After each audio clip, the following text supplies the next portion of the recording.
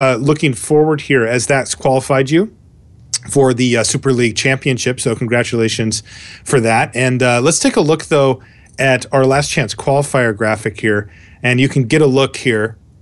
Last chance qualifiers for the Super League Championship. We see Gerard, Owen, Tom, and then a bunch of TBDs. Now those TBDs, and I think that should be you. But uh, anyway, the the right for TBDs are going to be voted on by you, the the, the fan of, of the Super League fan. There's going to be a list of players that uh, were involved in the Super League earlier, you know, maybe in the vintage or the standard, and they didn't quite make the cut here, but you're going to get a chance to uh, to vote to see who's there. And uh, you know, a lot of specifically, like, am I the sole vote, or are you talking to the audience? I'm talking to the audience. Oh, okay. Well, you, you do get a vote, I suppose. I, I don't know if, if you're allowed to vote on it, but you might be able to. But yeah, I think that should be you instead of Lee over there, right? That He's in the LCQ. Thank I, you, Randy. Yeah, I, so I'm I made it into the. So you've actually skipped this whole process, right? Right, oh, right. Yeah. And so that means that that Lee as a close finisher, right? And you'll see that a lot from these these players where uh, they're the ones who are in, but you do get to vote on those other seats and uh, two of the seats, which is pretty cool. Um, let's take a look at our bracket here to get things updated. Uh, Sean McLaren advances. Sean, once again, congratulations on that, and you have moved on. That brings us though to our next match. We're going to be watching Patrick Dickmann, who I just had in the booth with me here, Sean, and he's playing against Cedric Phillips to move on to the next round. Now, both of these guys are already qualified for the uh, for the championship, so they don't have quite as much weight as far as that goes on their shoulders. But you know, Patrick said, "I want to be." The the first person to win modern super league. And uh, I, I, could tell that it meant quite a bit to him. I went over the prizes as well. There's uh, for first place here we're going to be giving away a foil set of modern masters 2015 on magic online. Uh, second place is going to get a regular set as well. And third is going to get that super league championship invite as well as the other two so, you know, quite a bit on the line here. But yeah, why don't we take a look at deck lists as we prepare for, for our next matchup here, Sean? Because I really want to get your take on how this matchup is going to go. We did have a chance to talk a little bit with Patrick about what he thought. But uh, here's Tarmo Twin. This is kind of the deck that Patrick, you know, built his modern resume on when he first crashed onto the scene. And, uh, he's still running it. And uh, this deck looks really, really good. Uh, wh- what do you make of Tarmo Twin here? Yeah, I mean it's it's just a sweet deck. He he plays it excellent. It's a it's a hard deck to play. A lot of uh, a lot of uh, one ups and and multiple cards, lots of tricky cards like Remand and Snapcaster Mage, and then there's a combo. You have to uh, juggle that as well. So not not uh, an easy deck to play, but when you know how to play it, it, it really pays off powerful. Yeah, and I mean, it must be said that Patrick Dickmann has to be the best Tarmo Twin player in the whole world, right? I yeah, I mean, not a lot of people play the deck, but right, he, he he definitely is. I mean, so yeah, like you were saying, I mean, if, if you can play it well, well, he can definitely play it well. Let's take a look at his opponent, though, Cedric Phillips. You of course know Cedric from his coverage gig over at, uh, at SCG Live, and uh, but but Cedric's a player. You know, Cedric's got a PT top eight under his belt. Now it was a little while ago because he's been f- focusing more on the content end of things. But uh, you know, when he needs to uh, to shuffle up the cards, he certainly knows what he's doing. And uh, as he would say, he likes to go upstairs. And uh, he's brought this this zoo list. It's it's a it's got heavy burn elements to it as well. And this thing is looking to get you dead and get you dead quickly. How is that going to play out against the Tarmo Twin matchup? Uh, I mean, first instinct is that I like the Zoo deck for this matchup. The the Remands are going to be pretty poor. The Cryptic commands are going to be slow, and uh, Patrick's deck is is not exactly friendly to him mana base wise. I would say so. He he's going to be struggling to not take damage and get all his all his colors going. And uh, Cedric also has disruption a little bit of disruption for the uh, the combo, but and uh, a, a, dece- a deceiver exarch into splinter twin could just end the game. I mean, yeah, he always has that threat sitting there that Cedric has to respect. All right, it seems that the players are ready. Let's head down to the match here, where we're going to decide who gets to continue on in the modern Super League? Will it be Patrick Dickmann with his signature Tarmo Twin deck or Cedric Phillips looking to burn out his opponent with Zoo? What do these opening hands look like to you, Sean? I see that Cedric has a two lander and a bunch of spells beyond that. Uh, yeah, both these hands uh, look good right off the bat. I mean, three lands for Patrick, two lands for Cedric. That's that's what Cedric wants. He has two creatures as well to apply pressure.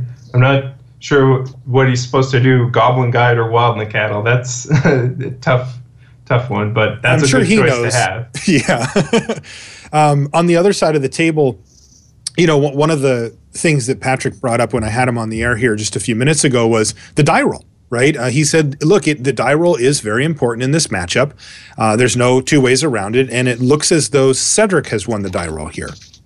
Yeah, that's obviously huge. The the creatures are going to be out before uh, Patrick can really do anything to the board with this hand. I am curious I mean- to see if Cedric plays the uh, the Goblin Guide or the uh, or the Nacatl first. That that is uh, kind of the first thing I'm looking at, and it looks like Patrick's decided to mulligan that hand. Wow, that's that's an aggressive mulligan, and I mean, I like the style. Go search for a bolt or maybe the combo or something that can can win Yeah. you the game. This hand looks pretty good though. He he gets to start off with the Tarmogoyf, and then he can pass a turn with Bounding Krasis and Remand available as well. Um, but we had our, our question answered, Sean. It was Wild Nacatl to start things off for Phillips. Yep, That means he gets to attack for five next turn. Ouch. Yeah, that that's a lot, and it. I mean, Cedric's already running away with the game. Patrick's just going to be on the back foot this entire game. this whole time.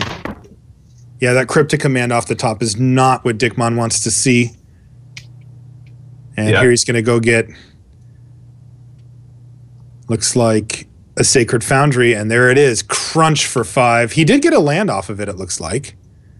Well, there's always that. There's always that. You get to But die with a bunch of lands in your hand. I know that feeling all too well.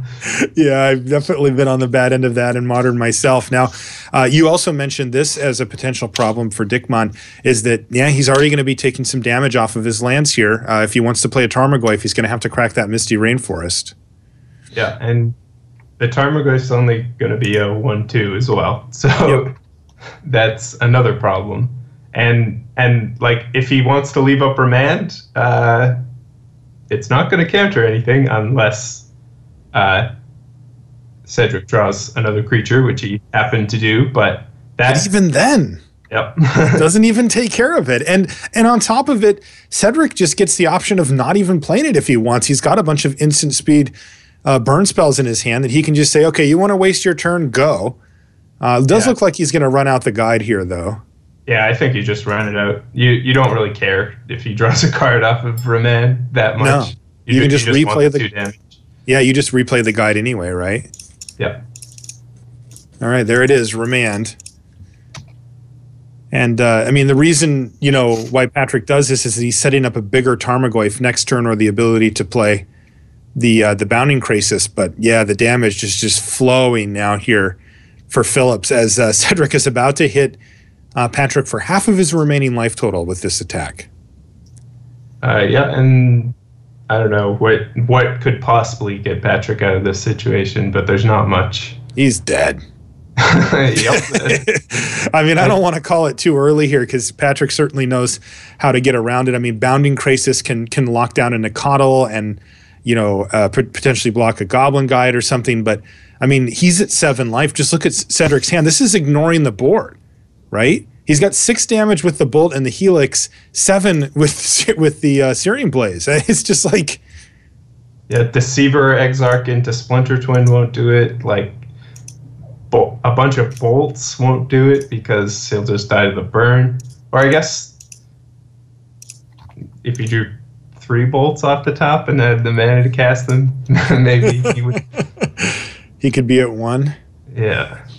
And then just never play a creature again. Yep. And it looks like it was dismember. Yeah, it, Dickmann's uh, draw steps have been pretty annoying for him. Uh, finding the cryptic command and the dismember in this matchup is just misery. Yeah, this dismember's especially frustrating. I mean, dismember isn't even that bad if he has it on turn one because like if it if it had killed the Wild Nacatl, it would have been a, a net positive in life. But at this point, he just can't cast it. No, he just can't even cast it. There's Tarmogoyf. He's left up a spell pierce here as well. But it's not going to get the job done. It looks like Cedric's deciding if he wants to crack this Mesa. You know, he, he could fire off a lightning bolt here to be slightly more mana efficient, but he does give up the opportunity to have landfall potentially for his uh, Searing Blaze. So I, I think he'll just take a, you know, just yeah. take his turn here. Yeah. Any, just, any, any line he takes checkmates uh, yep. Patrick here as long as he casts his two spells and attacks, which yeah. is what the deck does. yeah, really great draw here for Cedric Phillips. Just dumps his hand, piles on the damage exactly like he drew it up. A bunch of creatures as well as the burn spells to back it up. And, you know, from here it actually looks like he's going to get to kind of still had all these, you know, six damage or something in his hand as well. Is All right, very ballsy. Patrick Dickmann just fires off the dismember, but of course on his own Tarmogoyf, no less, on his for, own for value. He's going out on his own terms. I respect that. All right, let's see how these players sideboard. Uh, Sean, we've got a pretty cool graphic here, as you can see. We actually get to watch them sideboard. We got to watch you uh, do that as well. So. Uh, a little bit less guessing for us. We get to just sort of figure out. Let's see uh, what players are bringing in and, and what they're doing here. Uh, looks like uh, Cedric's going for the Path to Exiles. Uh, Cedric, I don't think Cedric has got too much use out of his sideboard this tournament. A lot of the cards are for specific matchups, and a lot nobody like brought affinity or anything like that. And and the Zoo deck really has a sort of laser focused sideboard. It just wants to do its thing of cast creatures and burn, and there there isn't too much that changes that. But the paths are good for uh, stopping the combo, and and that's really what he's worried about is just losing to the combo at some point. That makes sense. Yeah. Patrick, on the other hand, is going to get a lot of nice upgrades. Like he gets to get rid of all the remands, gets to gets to bring in interaction. Essentially, he get he has access to like uh, Spellskite, which might be good. The Thragtusks, which are excellent. Yeah, he brought those in. He's brought in a pyroclasm already as well. Uh, yeah, and uh, I would imagine he brings in the Spellskite and the pyroclasms as well, but he he might be thinking otherwise. It, it is kind of like interesting, yeah, how that plays out because you know if you look at Cedric's sideboard, you see Destructive Revelry right there, front and center, and I think he's got four of them. Is that what I'm seeing? At any rate, he he certainly has the ability to destroy artifacts for value uh, if he wants to. Yeah, but I, I don't think you just bring it in for a Spellskite. That's I don't think so either. Yeah, I just I'm curious why would Patrick not bring in Spellskite in this match? It's interesting. He still has the Cryptics in as well. It looks like, which is confusing to me. I mean, Cryptic is not generally a card you think of as as good against Zoo. It's four mana, triple blue.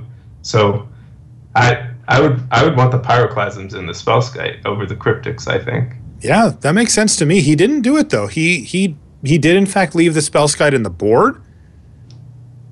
He, he kept in the cryptic. So let's see what uh, Patrick Dickmann has has lined up here. He did say that he had a chance to test this matchup against a friend of his. And oh, interestingly, while this he's got a plan at least. It's a it's a bold move, Cotton. Let's see how it plays out. Yeah, and and this is interesting that the opening hand for Dickmann that you see at the top is actually one that he described on the air. Uh, he he didn't leave leave it with uh, five lands, but he did say, "Look, Tarmogoyf's really important. If I go land." Serum Vision's Tarmogoyf, then he's going to have a hard time. He, he, called it a brick wall. He says the Tarmogoyf, there's just no easy answer to it at that point. And uh, he actually has that exact hand here. It's just that it's also surrounded by five lands, so he is going to need to find some action from the Visions. Right, uh, but that's what Visions does, right? It it's it finds action with the totally. And, uh, in the uh, meantime, Cedric has kept a six card hand here. He did have to mulligan. How does his hand look to you? Cedric's hand looks good, but it does it doesn't have path to exile for Tarmogoyf, so that Tarmogoyf is potentially looking to be a brick wall, but it it should only be a two three for uh, unless uh, an instant or something hits the graveyard. All right. Well, unfortunately for Patrick, he found yet another land off of his uh, serum visions. I didn't see if he bottomed or topped, but uh, well, he's found something. He's found a pyroclasm. Pyroclasm, and uh, could do that now. It looks like he's going to just line up a Tarmogoyf here. It, it, does mean that the Wild Nacatl is going to be out of range of Pyroclasm uh, as a result, though. Which is r- really awkward, but there are two Eidolons, and if if the Pyroclasm can pick up one or two of those, that's that's a good use for it. And there is Eidolon number one. And another land. So getting getting a little uh, hot under the color here for for Patrick Dickmann, who finds himself down a game to Cedric Phillips here. Yeah, that that's like being left with four lands in hand is is not a winning winning strategy here. Where's his cryptic command? is his Tarmogoyf is gonna get very large here since the Eidolon's an enchantment and a creature. So there's the brick wall. So brick wall acquired. He's got a four five.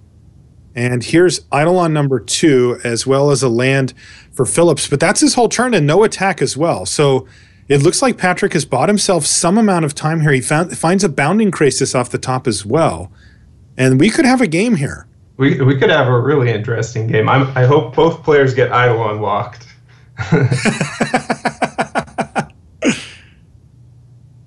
and a bold attack here from Patrick. He knows he's got that bounding Krasis that he can bring in at any time to uh, produce two big blockers if uh, Cedric decides he wants to try to rumble with his creatures here.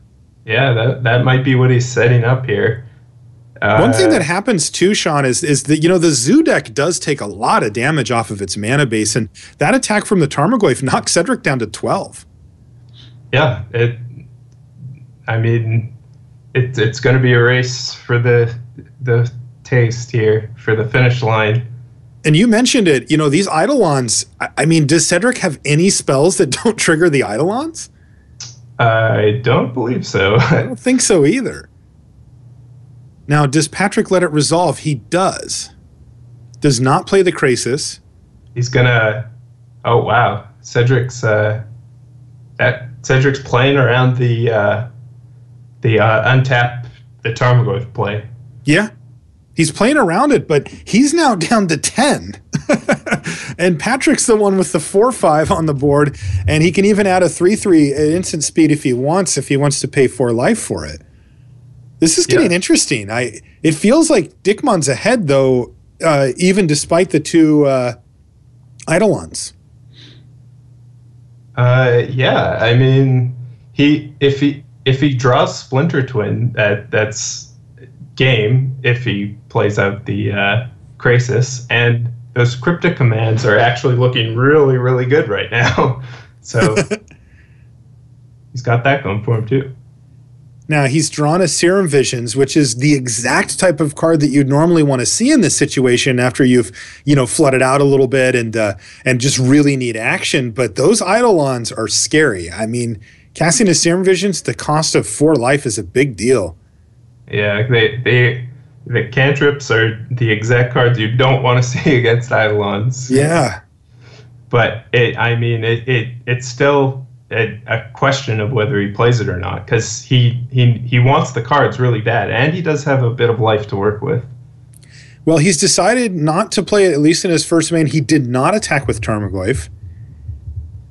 Right, and and Cedric's in in kind of a kind of an awkward spot because he just like very every burn spell he plays does more damage to him, and he's at a lower life total. yeah. Did you get a sense for how many lightning bolts Patrick Dickmann plays in his list as well? Uh, I, I, I thought it was four. I mean, it's lightning bolt. I, I would assume. I just I just couldn't remember, and uh, I mean that's also something that Cedric is going to have to keep in mind. Is that if he if he lets his life total fall too low, then he could just get bolted. And yeah, there's a lot of triggers that happen, but it could be one of those things where the first person to blink, you know, loses. Because yeah. it's weird with the triggers from from Eidolon, because you know you, you go to bolt your opponent, and you're the one that takes four damage first. Yeah, Patrick has four lightning bolts, and I imagine they're all in. Yeah, and, and they should all be in there. So Cedric is is going to have to really consider that. Oh, here we go he's he's oper- offering up the Eidolons as sacrifices. He says, I, I want to cast these burn spells now.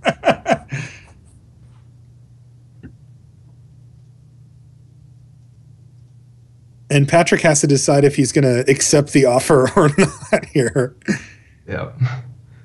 I mean, I I think he has to block because otherwise he just has to block, right? Like he, I, he's probably considering playing out the uh, Krasis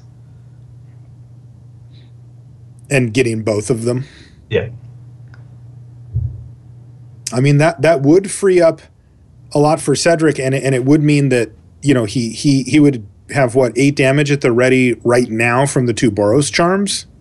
Uh, yes, Cedric. Hmm, he would actually have, have enough, lethal. Yeah, he would have enough burn over two turns to win the game. Yeah, he could end step, hit him for eight, and then untap and Atarka's command him. And uh, remember, Patrick will be at 10 now after making this play. Now, the, the interesting thing, though, is, is of course, is that this Bounding Krasis is going to gobble up a couple, and, and, and the Tarmogoyf are going to gobble up both of these, and, and that does leave a nice attack here for for uh, for Patrick as well. And he gets to uh, tap down the Wild Nacatl, which actually makes a Lightning Bolt a win condition at this point. He can, right. He can just attack for lethal if he has a little bit more burn. So he's going to get uh, at, at least two draws at it with Serum Visions as well, since Whew. Eidolons are gone. So it's going to be a sweat. Oh, this is going to be a good sweat here. so block, block. No response from Phillips, who I think he isn't super thrilled with his position here, but getting those Eidolons off the table is pretty important given his hand. And they did work. I mean, that's a lot of damage they did to, to Dickmann. I think they, they were responsible for six damage. I think Cedric's uh, considering Atarka's command to kill the Krasis now, which. Ah, but he would uh, drop down to five yeah, in that I scenario. think that would make the Tarmogoyf be lethal if he casts Atarka's command. Yeah, there's no instance in the yard yet, right? Five power, yeah. Yeah, yeah, you're right. It, it would be a, a five six. He could actually give double strike to the second Eidolon and and kill the Tarmogoyf? He could have. That would have been kind of interesting. But that's or to kill the Krasis, right? Very risky. Like yeah. All right, so both Eidolons down, and he passes the turn back. Are there basic lands in Cedric Phillips' deck? Uh, I believe there's at least a mountain. Okay, because uh, that was a ghost quarter off the top for for Patrick. Who's going to drop down to nine here? It's going to thin with a, a land here. He could have also thinned with a ghost quarter if he really if, wanted. If he was dedicated to the thinning out plan. yeah, if he didn't want to take the damage. And here's Serum Visions. He found a lightning bolt off the top with it. Yeah, and that appears to be lethal. Wow. oh man. Attacks for seven and has the lightning bolt in hand. Holy smokes. Burn That's how the, you do it. Burn out the burn player. That's it. That's oh man. Yeah, looks like he's gonna give him a taste game. of his own medicine here. Oh, geez, just and found Cedric's it. just one burn away, one point away here. He needs only to untap. He has him at one, but instead, Patrick Dickmann's going to even things up at one game apiece with that crucial lightning bolt top deck. Wow, what a game! Yep, the the shuffle off the Misty Rainforest was kind to him. Yeah, he he used that you know 0.03 percent or whatever, and uh, and found the win. Wow, incre- incredible stuff there, and uh, that means that we get to watch another game between oh, yeah. these two players. And uh, I got to say, I'm pretty excited, especially after the way the one that that, that one panned out. Yep, uh, and I mean Cedric's on the play, so it's going to be tough for Patrick. Yeah, we saw what happened in the first game, and you know, if Cedric had been on the play that game, it looks like he would have won as well. It it, it really does come down to uh, the die roll sometimes in these situations. One thing that Patrick also brought up, though, I wanted to get your thoughts on it, Sean, where he did say that the zoo deck will somewhat often just die to itself. And and I think he meant, you know, the mana base and, and trying to make everything click as far as that goes, getting the draw to line up. Um, is that in, in your experience, does, does the deck have consistency issues like that? Well, yeah. I mean, uh, usually all in burn decks of that nature do. They, they might not have a hand with a creature in it. They might have a one lander and never draw another land. They might mulligan into oblivion because they have a lower land count. Like last game, Cedric actually mulliganed, and that that played a big part in that game as well. Yeah, for sure. Card. Okay, so we'll, we'll, that's something that we'll have to keep an eye on here as well as we move into the critical game three. Here we go. Come on, three three Eidolons this game.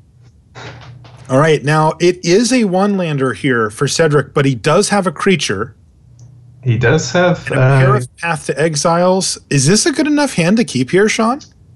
I don't. I don't think so. You were. Yeah, it looks like he agreed, and now this hand looks terrible too. Well, I don't know about terrible, but double rending volley and an Atarka's command. That's that doesn't have what it takes, right? What What did Patrick say? The deck dies to itself, and yeah, he did. Yeah. Is that I, what I've seen here? Yeah, like these rending volleys are terrible in this spot, basically, because they're they're not going to be able to kill the Tarmogoyf. And he did mulligan that. Now I think he's found a keeper here with Bolt, Kird Ape, Nacatl, and Boros Charm with a land that can cast both the Kird Ape and the uh, the Nacatl here. So it looks like he's got a reasonable five card opener. What do you make of uh, of Patrick Dickmann's hand here on top? Uh, it's it's a solid hand. It has removal. It has Tarmogoyf, and uh, dispel is is great against like Path to Exile or just uh, the Boros charms later on in the game. Okay, is that a Scavenging Ooze on the side that I can just barely see there? When he plays this land, it'll it'll pop in for us. It might be a Misty Rainforest. I think it's a Misty. It's a Misty. Okay, so here we go. Now I think you know th- there is the uh, the spell snare in hand there for Patrick Dickmann. It doesn't look like he's going to have an opportunity to use that here, as right. I think it's just going to be the Kird Ape joining the team here.